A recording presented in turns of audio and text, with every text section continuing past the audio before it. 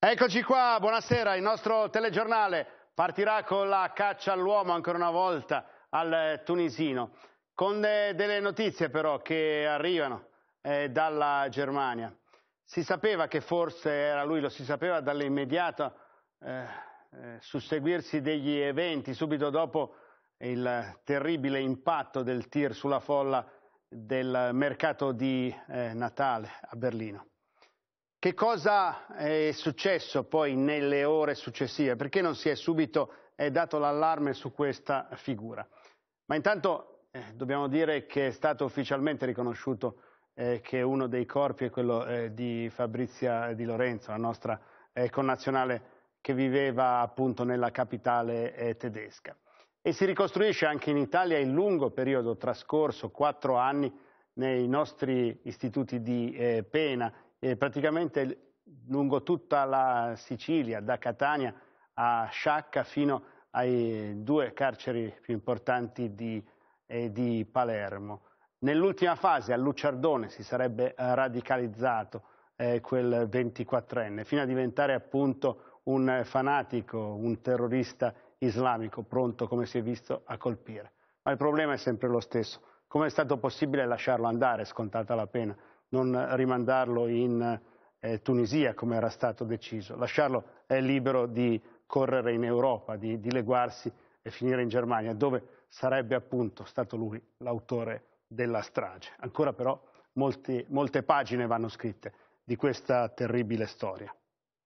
Vedremo però che ci sono delle vicende italiane che riguardano scusate, delle vicende italiane che riguardano, che riguardano il rapporto tra istituzioni e magistratura. Una, il comandante generale dell'arma dei carabinieri, generale del 7, eh, è indagato in un'inchiesta della Procura di Napoli. Vi spiegheremo i contorni di questa vicenda. In realtà avrebbe rivelato ai vertici della Consip, che è la società eh, di proprietà dello Stato, che eh, vigila e eh, effettua i, gli acquisti, le forniture per eh, vari settori della pubblica amministrazione che si stava indagando su una vicenda di corruzione all'interno proprio della Consip stessa.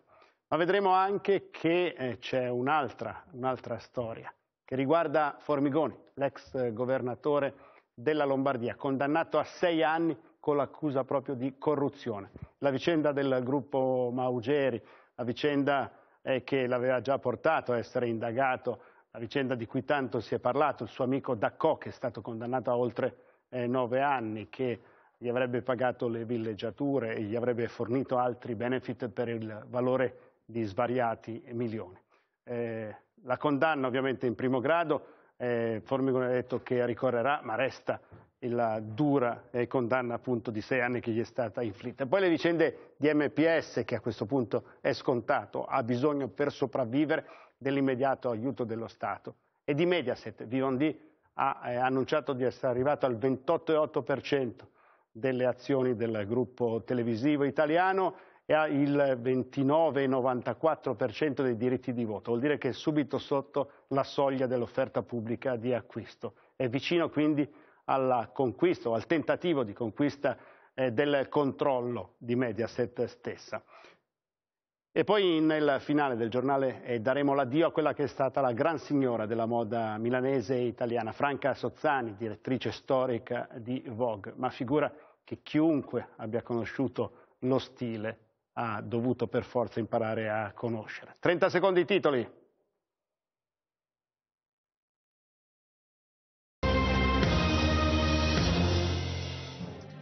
In tutta Europa è caccia Anis Amri, il tunisino di 24 anni, considerato il responsabile della strage di Berlino, tra i 12 morti, e confermato c'è anche la nostra connazionale Fabrizia Di Lorenzo, la conferma arrivata dal DNA.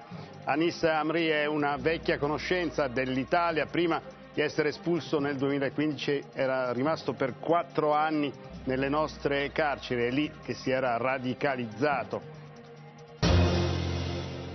Il comandante generale dell'Arma dei Carabinieri, Tullio Del Sette, è indagato per favoreggiamento e rivelazione del segreto di ufficio. Avrebbe svelato i vertici di Consip vicini a Palazzo Chigi notizie riservate sull'inchiesta per corruzione che riguarda proprio la centrale di acquisti della pubblica amministrazione, con unico socio il Ministero dell'Economia e delle Finanze. L'ex governatore della Lombardia e senatore del nuovo centrodestra Roberto Formigoni è stato condannato in primo grado a Milano a sei anni di carcere per corruzione nel processo sul gruppo Maugeri. Per i giudici eh, Formigoni avrebbe favorito la clinica Maugeri in cambio di vacanze e regalie. Impugnerò la sentenza, commenta l'interessato, che ha subito anche la confisca dei beni per 6 milioni e l'interdizione dai pubblici uffici per sei anni.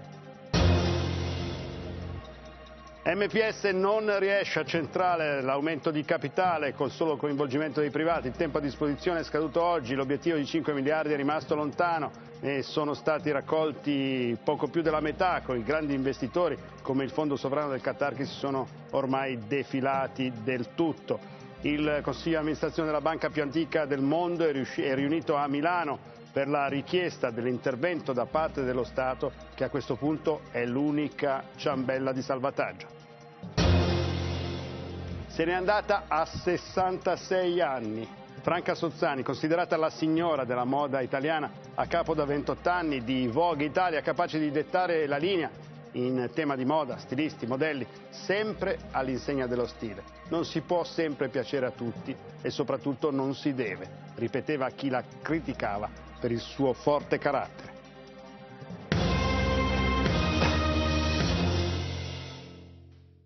Buonasera, è ancora lui, il tunisino di 24 anni che abbiamo imparato a conoscere da quelle foto segnaletiche, l'uomo al centro dell'attenzione di tutti.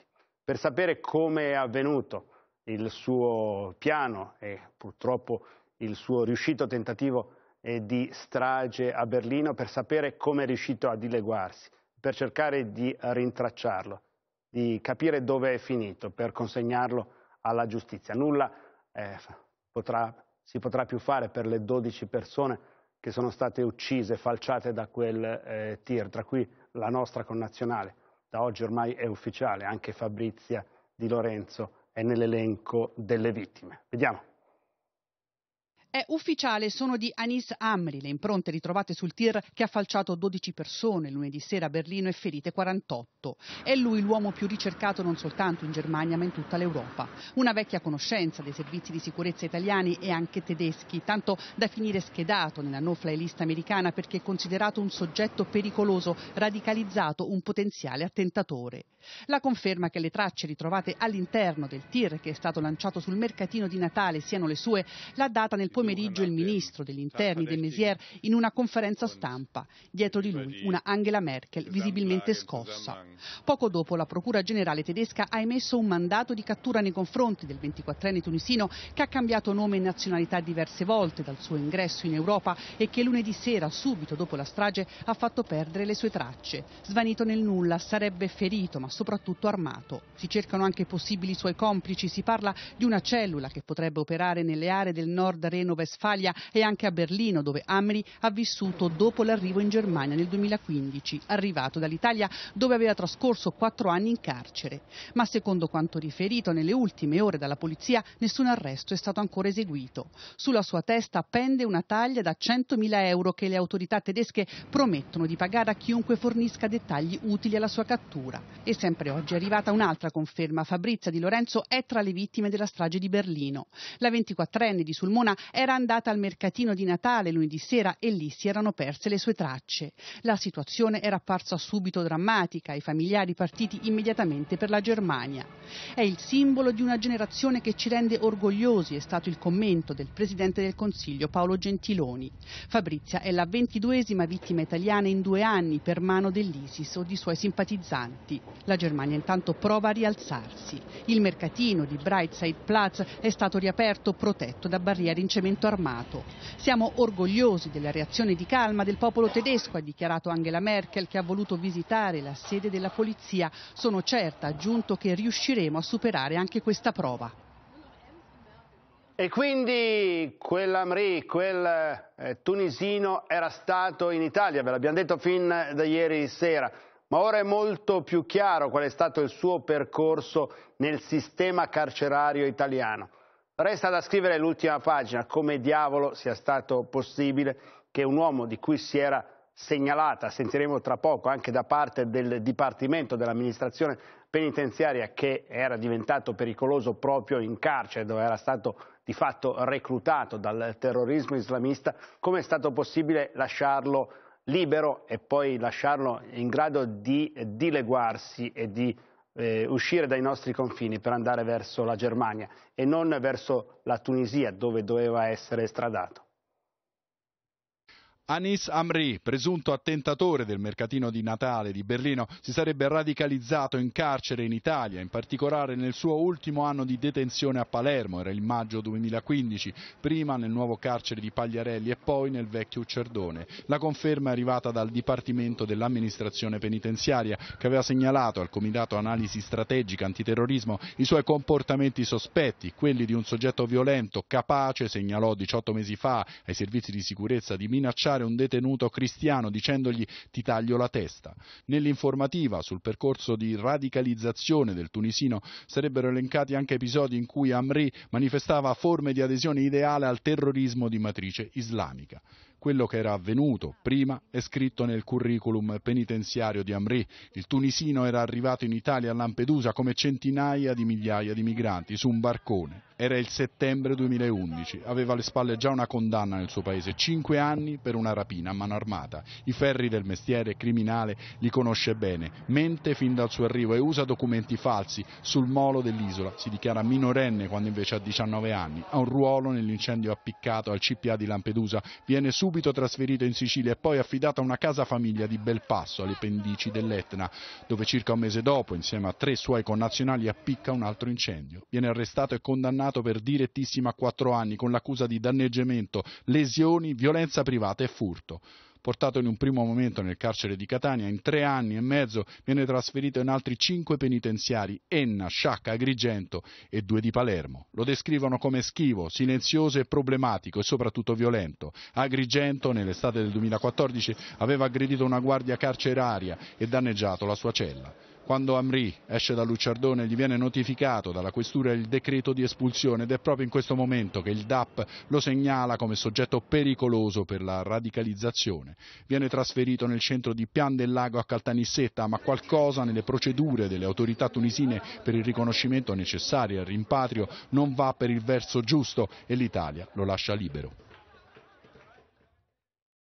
Andiamo a un'altra vicenda che fa scalpore, perché, perché, da questa mattina, proprio dalla rivelazione che è arrivata sul Fatto Quotidiano, si sa che il comandante dell'arma dei carabinieri, generale del 7, è indagato dalla Procura di Napoli. Perché? Sentiamo. Dalla Procura di Napoli nessuna smentita e nessuna conferma. Il procuratore capo Giovanni Colangelo non vuole rilasciare nessuna dichiarazione sul caso del 7. Il comandante generale dei carabinieri indagato per favoreggiamento e rivelazione di segreto d'ufficio, una pesantissima tegola che si è abbattuta sul comando generale che del 7 guida da due anni. Secondo l'inchiesta dei PM Woodcock, Parascandolo e Carrano, di cui parla oggi il Fatto Quotidiano, il generale avrebbe svelato notizie riservate sull'indagine Consip, la società società per azioni del Ministero dell'Economia e delle Finanze che gestisce appalti e forniture per le pubbliche amministrazioni, finita sotto inchiesta per un episodio di corruzione. Nella stessa Napoli, dove la Procura lo ha indagato per favoreggiamento e rivelazione di segreto d'ufficio, il generale del 7 ci è tornato spesso anche oggi. Solo una settimana fa era la presentazione di un libro sull'arma dei carabinieri e stamattina di nuovo in città alla caserma Ogaden, sede del comando interregionale per il bilancio delle attività svolte durante l'anno dai militari della Campania. Serenissimo, non una parola con i suoi uomini sull'indagine in corso che lo riguarda. Il nome del generale salta fuori nelle carte della delicata indagine sull'imprenditore Alfredo Romeo che secondo l'accusa per aggiudicarsi una gara d'appalto avrebbe corrotto un alto funzionario della Consip, Marco Gasparri, rimosso oggi dal suo incarico. Il generale avrebbe informato qualcuno di quella indagine in corso, nello specifico il presidente della Consip, Luigi Ferrara, che riveste anche il ruolo di vice segretario generale della Presidenza del Consiglio. Lo avrebbe riferito lo stesso Ferrara, sentito dai pubblici ministeri e prima di lui l'amministratore delegato della Consip, Luigi Marroni, che avrebbe confermato agli inquirenti questa circostanza. Scrive il Fatto Quotidiano. Del 7 mi disse di stare attento agli incontri che facevo con gli imprenditori e in particolare con Alfredo Romeo e riferì la cosa all'amministratore delegato. Lo stesso Marroni fece poi bonificare gli uffici dove sarebbero state piazzate le microspie. In questa vicenda, dai contorni ancora tutti da chiarire, spunta anche il nome di Tiziano Renzi, il padre del segretario del PD non indagato, che avrebbe avuto rapporti con un personaggio coinvolto nell'inchiesta, Carlo Russo, un imprenditore di 33 anni di Scandicci, amico di Romeo, che vantava i suoi rapporti con Renzi Senior e la moglie. Resta a Napoli solo il filone dell'inchiesta che riguarda l'imprenditore Romeo e l'episodio di corruzione, mentre l'indagine relativa alla fuga di notizie che riguarda del 2007 è finita sul tavolo del procuratore capo di Roma Giuseppe Pignatone per competenza territoriale. Al comando generale dei carabinieri non è arrivata nessuna ufficialità sulla vicenda. Il comandante non ha ricevuto l'avviso di garanzia. Ma allora che cos'è questa storia intricata che porta addirittura a iscrivere nel registro degli indagati il comandante dei carabinieri? Diamo di rivelarvi di che si tratta. L'inchiesta bomba di Natale che colpisce la reputazione del comandante generale dei carabinieri si snoda lungo l'andirivieni tra due palazzi romani a pochi chilometri l'uno dall'altro, quello di Consip, la centrale acquisti della pubblica amministrazione italiana, società in house del Ministero delle Finanze che opera nell'esclusivo interesse nazionale, e quello della Romeo Gestioni, colosso del facility management, la cura degli immobili e dei relativi impianti e strutture con gestione dei servizi mirati a incrementare il benessere, il comfort e la produttività di chi li utilizza. In parole meno pompose, la Romeo fa pulizie e manutenzione ovunque, serve amministrazioni, istituti ed enti centrali dello Stato. Ecco il capo, l'imprenditore napoletano Alfredo Romeo, che in un convegno di novembre 2015 spiega come gestire le città. A fine 2008 Romeo cura i patrimoni pubblici dei comuni di Roma, Napoli, Milano e Venezia e finisce in carcere su richiesta della Procura di Napoli per corruzione turbativa d'asta, assieme a politici di ogni ordine e grado, locali e non. In appello prende tre anni, l'azienda è commissariata ma poi viene restituita al titolare, assolto in Cassazione nel 2014 perché i fatti non sussistono. Romeo però non vince più una gara, crede che Consip lo boicotti, quindi chiede aiuto all'alto dirigente Marco Gasparri, coinvolto anche lui ma finito archiviato nella prima indagine napoletana. Le gare di Consip sono complesse, impossibile pilotarle, così Gasparri si offre di guidare Romeo nella formulazione delle offerte tecniche e nei mesi scorsi viene ricompensato con diverse decine di migliaia di euro. Le intercettazioni ambientali raccontano i soldi che passano di mano.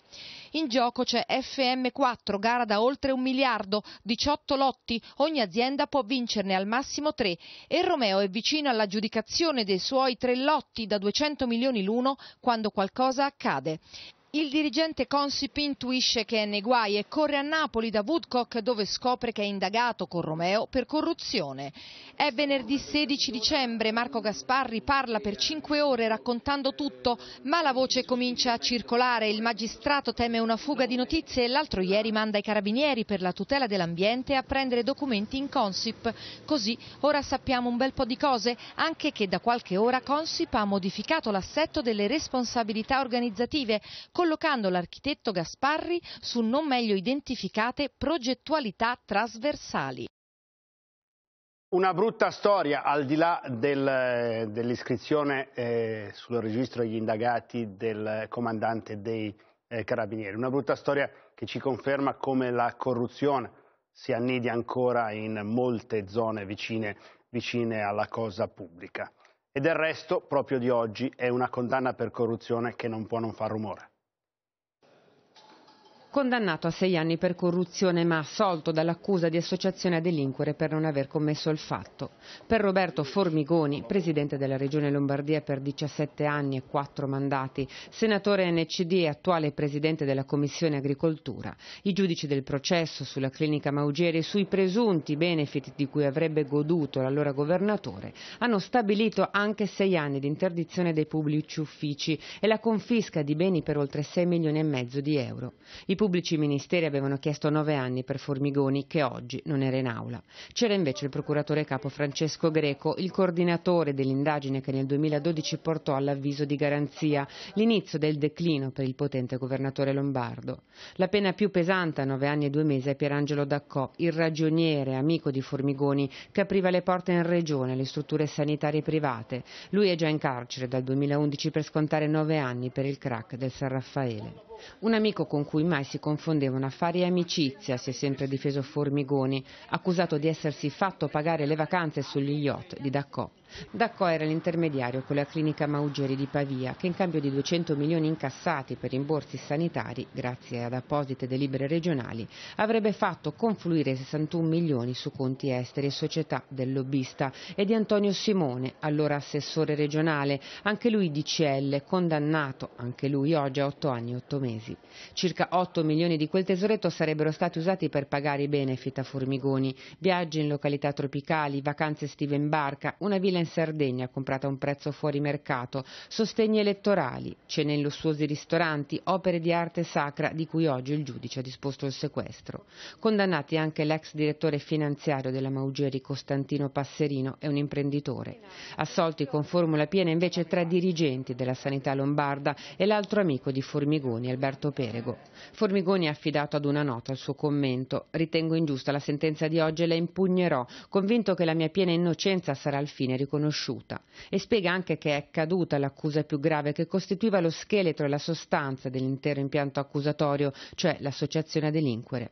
L'ex governatore ribadisce poi l'eccellenza e la qualità della sanità lombarda a cui, ha sempre sostenuto, mai è stato sottratto un euro. Vi devo dare conto di una dichiarazione del sindaco di Roma, Virginia Raggi. Se mi chiamano sono pronta ad andare in procura. Siamo pronti. Lo ha detto la Raggi sottolineando la disponibilità di collaborare con la Procura di Roma sull'inchiesta che, come sappiamo, ha coinvolto l'ex capo del personale del Campidoglio, Raffaele Marra. Ma oggi l'attenzione sta ancora una volta in realtà su altre partite quelle della finanza, delle banche, della televisione. Perché oggi per eh, Monte dei Paschi di Siena e per eh, Mediaset era una giornata cruciale in cui la borsa diventava lo specchio della realtà e la realtà è stata che sia MPS sia soprattutto Mediaset sono andate giù in borsa a dimostrazione che qualcosa è successo. Cosa? Cominciamo dalla banca senese. Il D-Day del Monte dei Paschi è finito. Il consiglio di amministrazione della banca più antica del mondo è riunito in queste ore a Milano per fare il punto sulla situazione. La seconda tranche della conversione dei bond subordinati in azioni, tutto sommato, non era andata male. Nelle casse del Monte si calcola siano arrivati in tutto circa 2 miliardi e mezzo di denaro fresco tra i contributi di piccoli e grandi investitori. Ma il colpo decisivo alle speranze di salvarsi, ricorrendo alle sole forze del mercato, è stato il defilarsi degli investitori di peso. Prima di tutti il fondo del Qatar che doveva essere quel che si definisce l'anchor investor e che invece si è sfilato. Salvo sorprese clamorose, quindi il traguardo dei 5 miliardi necessari per completare con successo la ricapitalizzazione è rimasto lontano. Adesso gli occhi sono puntati su via 20 settembre per capire come si realizzerà quell'intervento pubblico che dovrebbe tenere in vita la terza banca italiana e tutelare i risparmiatori. Piercarlo Padoan adesso ha in mano il sì del Parlamento al cosiddetto salva banche, 20 miliardi di denaro pubblico, di extra debito che però non sono destinati solo al monte ma dovrebbero coprire anche anche le altre criticità del sistema italiano. Lo Stato in realtà è già dentro il Monte dei Paschi, detiene infatti il 4% delle azioni dell'Istituto Senese. Le prossime mosse dovranno tenere conto dei limiti posti all'intervento pubblico dalle regole europee, ma in questo caso trattandosi di rischio di sistema l'Europa può dare il via libera a una vera e propria nazionalizzazione che però potrà essere solo temporanea. Il Monte prima o poi dovrà tornare a camminare con le proprie gambe. In corso ci sarebbero una trattativa tra il Tesoro e Bruxelles per decidere i tempi dell'intervento. Il Tesoro spinge perché si concedano tempi abbastanza lunghi sull'ordine dei due anni, bisognerà vedere quale sarà la risposta. Ma una cosa è certa, in Europa sarà il primo salvataggio pubblico di una banca di rilievo sotto le nuove regole, un terreno praticamente inesplorato. E per Mediaset, per Mediaset la notizia è che Vivendi è quasi arrivata al livello dell'OPA, il livello che ha raggiunto il numero di azioni, la percentuale di azioni che ha rastrellato è del 28,8%. Ma attenzione, danno diritto a titoli di voto per il 29,94%. La soglia è quella del 30% e il eh, prezzo delle azioni di un'azione Mediaset è sceso praticamente a 4 euro tondi e molti scommettono che quello sarà il valore dell'OPA. Per giorni è salito senza sosta, però oggi il titolo Mediaset è sceso forte, meno 12,4% e chiusura a 4 euro tondi, scambi vicini al 5% del capitale e un passaggio in forte territorio negativo sulla scia delle parole del ministro Calenda. Il governo non può fare provvedimenti ad hoc per difendere Mediaset. Chi ha venduto? Fondi edge americani sembrerebbe. Sicuramente Wall Street è molto appassionata, vista anche da fuori la partita è succulenta, saliscendi improvvisi, battaglia di campanili, Francia contro Italia, è una saga, ricorda grandi scalate, anche se con qualche zero in meno. Resta che Mediaset vale in borsa un miliardo in più di quando è cominciato l'affondo, ma se scende può significare due cose, che la partita è alla fine oppure che è incerta. Vivendi per sua missione ha detto compriamo per trattare, i fondi comprano invece solo per guadagnare. Oggi con i volumi che si vanno restringendo per le feste, chi ha tanto cavalcato fin qui la storia si ritira, ma la partita non è certo finita. Si va verso il panettone con il gruppo francese Vivendi, arrampicatore, che sala un soffio dalla soglia dell'offerta pubblica di acquisto, un 28,8% che vale una manciata di diritti di voto in più. Mossa sprezzante pare presa, non all'unanimità, anche i francesi hanno un cuore. Oggi alla Consob sfilavano i vertici Mediaset per mettere in chiaro quanto hanno già denunciato, la manipolazione francese presunta del mercato. Domani da Vegas si presenterà De Fontaine, il numero uno di Vivendi, l'operativo di Bolloré. Che cosa dirà a sua discolpa, discolpa dei francesi indicati come cattivissimi in questa storia?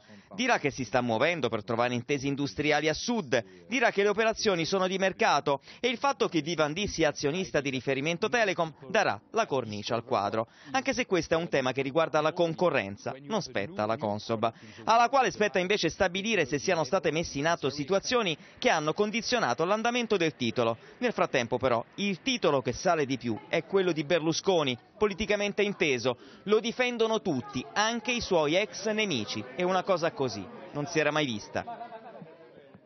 Vi voglio solo brevemente ricordare che domani pomeriggio sarà consegnata alla città di Amatrice la nuova area di mensa e di collocazione provvisoria dei ristoranti della città, della città che come si sa è stata così eh, duramente colpita dal terremoto del 24 eh, di agosto e poi dalle scosse di ottobre.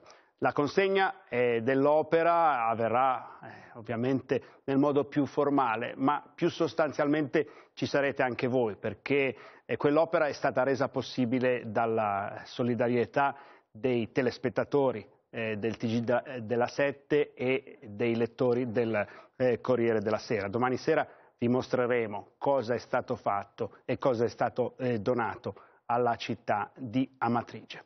Ma ora è il momento di ricordare una figura importante, davvero, oltre che popolare, della moda italiana. Nel cuore della moda, nel cuore di Milano, nel cuore del mondo. Franca Sozzani è stata esattamente lì, ovvero ovunque si parlasse di stili, di tendenze, di arte, di fotografia. Perché se l'Italia ha avuto qualcuno a far da corrispettivo all'Anna Vintur, la potentissima regina della moda, direttrice di Vogue, sì, proprio quella interpretata da Meryl Streep nel Diavolo Veste Prada, questi è stata proprio Franca Sozzani, della Vintur praticamente coetanea, direttrice dell'edizione italiana della stessa rivista, anzi meglio di tutto ciò che recasse da noi il marchio Vogue, bambini, gioielli, accessori che fossero. Lei, giornalista stilista dentro il meccanismo dell'editoria, quello popolato da stilisti, passerelle, fotografi, modelle, quello così spesso tanto invidiato dall'esterno, si può dire ci stesse come un pesce nell'acqua, con quei capelli biondi a sirena e gli amati vestiti neri, con la forza e l'intelligenza però di non restare mai prigioniera di quel cliché, mettendo cioè in comunicazione quell'ambiente con la vita reale, con gli eventi culturali, con l'arte, stabilendo un contatto continuo tra Milano, Italia e quel piccolo, enorme salotto dello stile internazionale, quello che che muove cifre e fatturati da capogiro, con tanto di film a lei dedicato dal figlio, presentato alla mostra di Venezia, con titolo ovviamente in inglese Chaos and Creation, Caos e Creazione, organizzando, promuovendo, aiutandosi i giovani stilisti, ma soprattutto a muovere un intero settore in sintonia con le tendenze internazionali, a vendere copie. La Sozzani ha potuto farlo da posizione privilegiata, da direttrice editoriale di una casa prestigiosa come la Condennasta, quella che praticamente da più di un secolo a questa parte ha dettato i tempi e le forme del gusto, lanciando fotografi e modi di vestire, pensando sempre a come mettere in atto la formula più difficile, parlare di stile con stile. Dopo di noi a otto e mezzo Lili Gruber ha degli ospiti che sicuramente fanno opinione, Paolo Mieli, Lucio Caracciolo, Marco da Milano e Paolo Berdini. Si parlerà quindi anche di eh, Roma. Intanto noi ci fermiamo.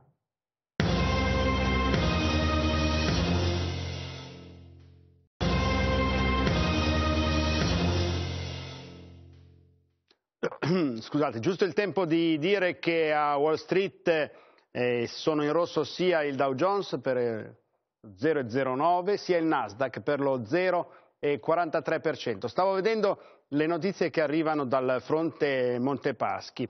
Il, il movimento dei eh, consumatori, eh, Feder Consumatori e anche di Abdusbef fa notare che in ogni caso sarebbe stato pagato pur nel fallito tentativo di ricapitalizzazione, una cifra di 448 milioni di commissioni, soprattutto al consorzio capeggiato da JP Morgan. Domani sera ne parliamo. Intanto linea Lilly Gruber. Buonasera.